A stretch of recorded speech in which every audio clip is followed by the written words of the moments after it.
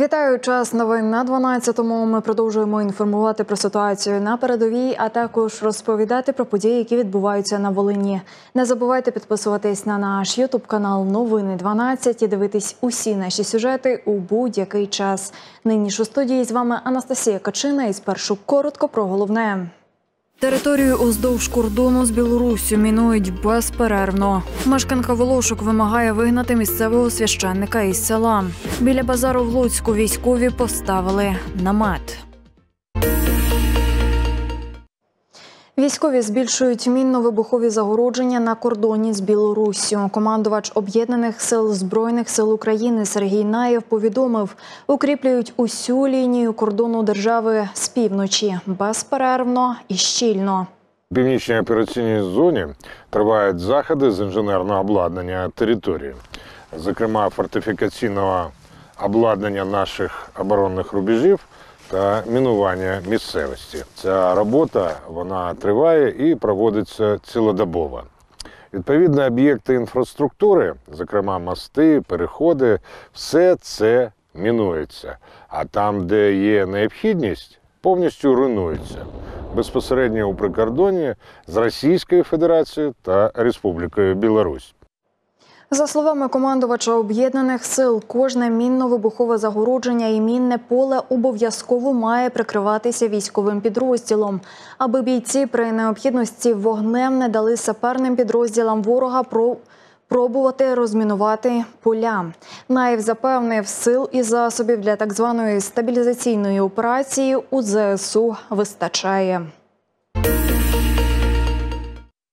У громадах Волині знову жалоба. Від тяжких поранень помер військовослужбовець із села Серхів, що на Камінь-Каширщині. Віктор Нестерук. Йому був 51 рік. Воїн служив у єгерській бригаді імені Олекси Довбуша. Був поранений на початку червня цього року і лікувався у медзакладах Запоріжжя, потім Дніпра та Луцька. У цьому ж селі Прилісницької громади напередодні ховали Віктора Войтка. Жалобний кортеж люди зустрічали навколішки. Останню дорогу додому встелили квітами. Віктору Войтку не виповнилося і 30 років. Загинув він 12 жовтня під час боїв у Запорізькій області. Відомо, що у військо пішов цього ж року в травні. Воював близько півроку. Батьки залишилися без сина. На війні з росіянами також загинув військовослужбовець із села Гаївка Шацької громади Володимир Карпук. Воїна мобілізували для захисту України 23 липня минулого року. Загинув 14 жовтня під час відбиття штурмових дій противника на Запоріжжі. Недовгий час, 16 жовтня, його вважали зниклим безвісти. Воїну було 43 роки. Без чоловіка і батька залишилися дружина і донька. Висловлюємо щирі співчуття родинам воїнів, вічна пам'ять і шана героям. Далі про резонансний випадок, який стався з матір'ю загиблого воїна. Вигнати місцевого священника не тільки з церкви, а й з села вимагає мешканка Волошок на Ковальщині. Про таке гнівне рішення Тетяна Рудін, мати загиблого на війні, повідомила наш канал після того, як подивилася новини. Кілька днів тому ми розповідали про ситуацію у селі Волошки. Його мешканка Тетяна Рудін у пам'ять про загиблого сина зробила на храм щедру пожертву 80 тисяч гривень гривень на розпис вівтаря. Тоді наша знімальна група попросила священника відкрити церкву і показати розпис, але отець Віталій нам відмовив. Ось послухайте, як він спілкувався з нашою журналісткою. Ну, Жертва взагалі то не показується. Було б добре глядачам показати, як це виглядає. А для чого? Ну от в неї загинув син. Ми ж знімаємо не сюжет то просто багато що Саме така реакція священника православної церкви Московського патріархату вкрай обурила жінку. Особливо ось це. Ну то й що, що загинув. Як так він міг сказати, військова людина, яка загинула, пролила кров. Во. І люди захищають Україну, а він таке сказав. То як то так може бути? Він спить спокійно, а хлопці в окопах гниють. Що то є не людина, його вигнати вообще з села, щоб він навіть не був. А зразу було нічого, тож він і хоронив, і як везли приходив. Кожного дня мене провідував, був на костелях. А от Тупірова, бачите, пішла за українську церкву. Ось що. Мати бійця каже, так не має права говорити людина, наділена правом проповідувати слово Боже. Жінка буде вимагати адекватного покарання для священника. Біля базару в Луцьку військові поставили намет, але в перехожих він викликав не зацікавлення, а радше побоювання. Люди думають, що там працівники військкомату роздають повістки. Та чи так це з'ясовувала наша знімальна група?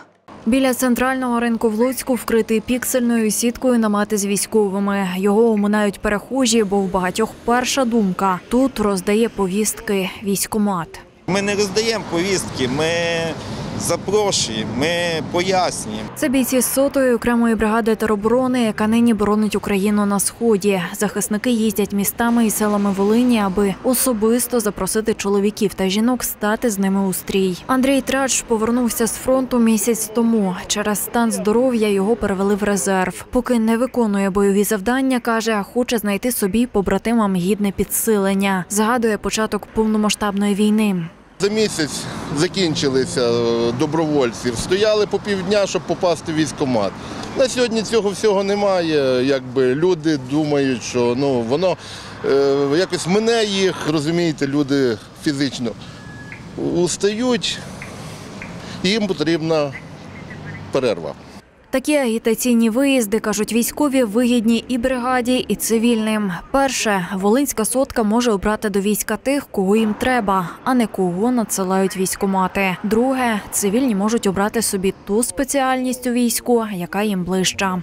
Якщо хороший водій, то він дуже потрібний в нашій бригаді. Якщо хороша, хороший кухар або жіночка, яка вміє золоті руки, то ми з задоволенням її візьмемо. Е, Медики, які вміють перев'язувати, лікувати, теж це все ну, те, що потрібно нашій бригаді. Якщо жінки не мають спеціальності кухаря чи медички не мали практики, не проблема. Усі кандидати пройдуть навчання. Є багато хлопців, які люблять грати в ігри. Ми їм дамо таку можливість. В них будуть джойстики, в них будуть, е, і, скажімо так, е, екрани, вони будуть літати, але на справжніх бойових умовах і виконувати справжні бойові завдання. Серед переваг служби саме в сотій бригаді тероборони кажуть захисники. Робота пліч опліч із земляками. Олександр Лисюк із Луцька з перших днів повномасштабної війни воює у складі батальйону Лучан. Всі е, знайомі, бо Шлуць велике село. От. І ну, краще хлопцям буде адаптуватися і служити в нашій рідній бригаді, ніж десь там е, в інших підрозділах. Кожному військовому видають усю амуніцію. Себто на війну захисників повністю одягають та взувають. Це ми ніколи не були голодні і завжди були одіті, все було добре в нас. Серед беззаперечних переваг служби у суті бригаді тероборони кажуть військові вчасна і немала зарплата. Бійці, які нині боронять українську землю на сході України, отримують не менше 100 тисяч щомісяця. То грошове забезпечення е, виплачується регулярно, і це, скажімо так, у е, любого воїна рядового це від 120 тисяч, враховуючи бойові виплати, а вони виплачуються. Бійці сотої бригади тероборони закликають волинян не зволікати і ставати на захист України зараз. Адже досвід цієї війни показує, що ті, хто не захотіли служити в українській армії, можуть потрапити у ворожу.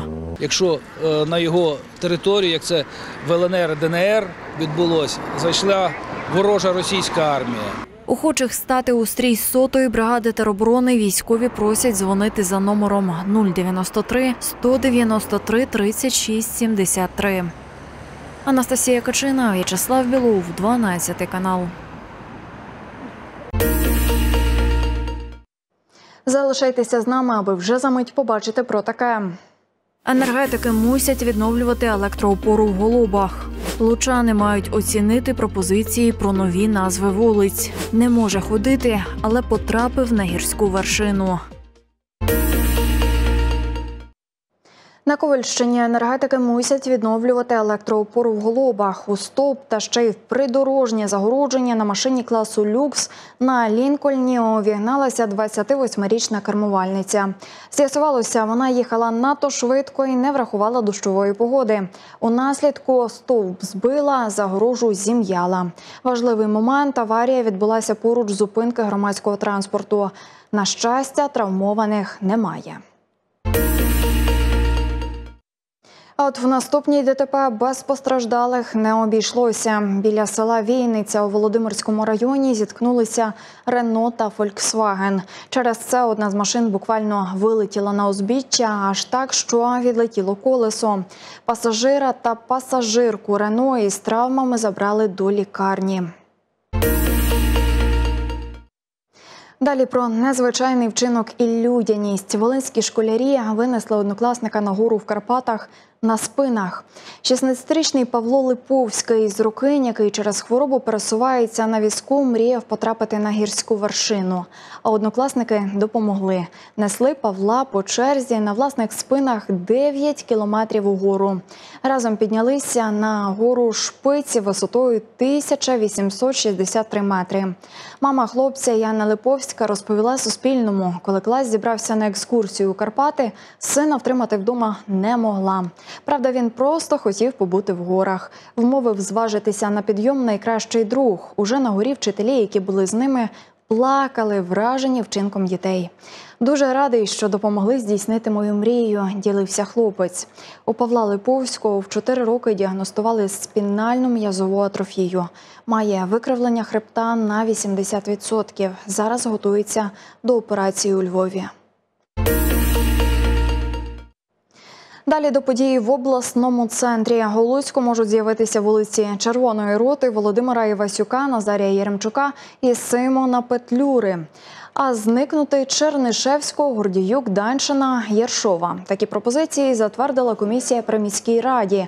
Втім, це ще далеко не остаточні рішення. Пропозиції змін будуть затверджувати і лучани на громадських слуханнях, і депутати на сесії. Все ж розповімо про частину ймовірних перейменувань. Отож, вулицю Нахімова пропонують назвати Джерельною, Мечнікова, Червоної роти, вулицю Гордіюк імені захисників України. Вороніхіна має два варіанти нових імен: княгині Ольги або патріарха Володимира, Даншина іменем Ізидори Косач або Володимира Івасюка, Єршова іменем Назарія Єремчука. А от вулиці, названі іменем російського публіциста Чернишевського, її мешканці просять присвоїти ім'я видатного українця Симона Петлюри. Хто за те, щоб доручити департаменту організувати і провести громадське обговорення щодо перейменування вулиці Чернишевського на вулицю Симона Петлюри? Прошу проголосувати за. Вісім проти отримались. Немає. Рішення прийнято. Дякую. Мешканець вулиці Чернишевського Юрій Кункавич каже, що така назва мусить бути у місті. В місті Луцьку є вулиця Вениченка, який прагнув домовлятися з російськими більшовиками в 17, 18, 19 роках і був ідейним супротивником Симона Петлюри. Але вулиця Вениченка в Луцьку є ще з початку 90-х років. Це несправедливо, що вулиці Петлюри немає в нашому місті. Він не втік за кордон, він воював, він намагався зберегти армію, зберегти Українську Народну е, Республіку. Загалом комісія з порядкування назв вулиць Луцької міської територіальної громади затвердила близько двох десятків пропозицій нових назв у місті, а також селах Зміїнець, Мелучі, Сирники та Рукині. Далі справа за думкою лучан і ріш- рішенням депутатів. На організацію і проведення громадських слухань мерія відводить цілих два місяці. Тож можемо стверджувати, що вулиці Симона Петлюри чи Володимира Івасюка з'являться у місті ніяк не раніше 2024 року. Поки все ще більше актуального і безумовно цікавого у наступних випусках новин. А якщо пропустили якусь інформацію чи хочете ще раз переглянути якийсь сюжет, заходьте на наш Ютуб канал Новини 12. Бережіть себе, донайте на ЗСУ і залишайтесь з нами. До зустрічі.